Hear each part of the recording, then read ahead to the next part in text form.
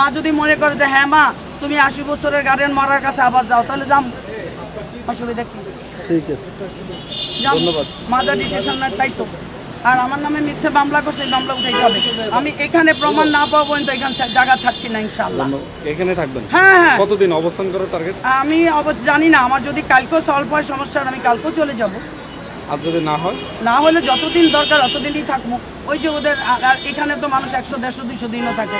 থাকব। কারণ আমি দরকার হয় সন্ধ্যার পরে রোজগার করব অসুবিধা আছে।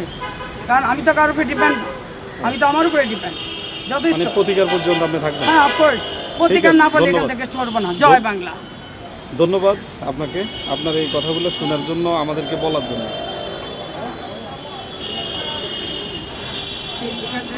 হুম।